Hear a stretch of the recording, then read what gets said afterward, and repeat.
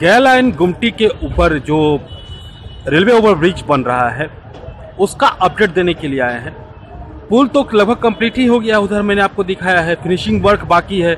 और इधर भी जो कंक्रीट करने के बाद रोड को पिच किया गया है और काफ़ी सुंदर लग रहा है ये। और काम चल रहा है यहाँ पर, लेकिन गडर जो रेलवे क्रॉसिंग के ऊपर जो गडर रखना है, वो अभी तक नहीं रखा पाया है। लेकिन उस साइड भी काम चल रहा है पुल का और इस साइड भी काम चल रहा है। और आप वीडियो में देखेंगे कि किस प्रकार रोड को बनाया गया है। कंक्रीट करने के बाद उसे अलकतरा से फिर उसको बनाया गया है। और सुंदर लग रहा है। तो जैसा काम चल रहा है, उसको देख करके हमको लग रहा है कि बहुत जल्द ही गडर रखने के बाद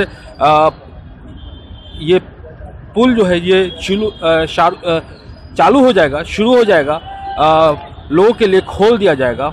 और दो किलोमीटर के अंतराल में हम आपको बता दें कि मीठापुर रेलवे क्रॉस गया लाइन गुमटी के पास से और इधर चियाटाल पुल तक तीन रेलवे ओवर ब्रिज है, लोगों के सुविधा के लिए बनाया गया है। पहले पहले जो पुराना रेलवे ओवर ब्रिज था चियाटाल उसे उसे, उसको इम्प्रूव किया गया, उसे और बड़ा बनाया गया। उसके बाद फिर जी पी के पास रेलवे ओवर ब्रिज बनाया गया। और ये गया लाइन गुमटी के ऊपर बनाया जा रहा है।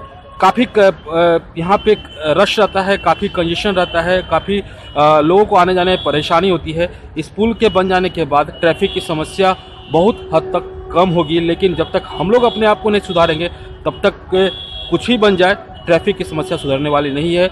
हमें भी अपने आप को सुधारने की ज़रूरत है। सरकार तो व्यवस्था कर ही रही है, हमें भी सुधारने की ज़रूरत है। तो आप ये वीडियो देखिए, अगर आपको ये वीडियो अच्छा लगे तो प्लीज़ लाइक कीजिएगा, शेयर कीजिएगा, सब्सक्राइब कीजिएगा हमारे चैनल को, ताकि बिहार के डेवलपमेंट के बारे में ज़्यादा से ज़्यादा लोग जान सके। हम फिर मिलेंगे किसी और नए अपडेट के साथ। तब तो तक इंद्रसेन का प्यार नमस्कार। जय भारत, जय बिहार।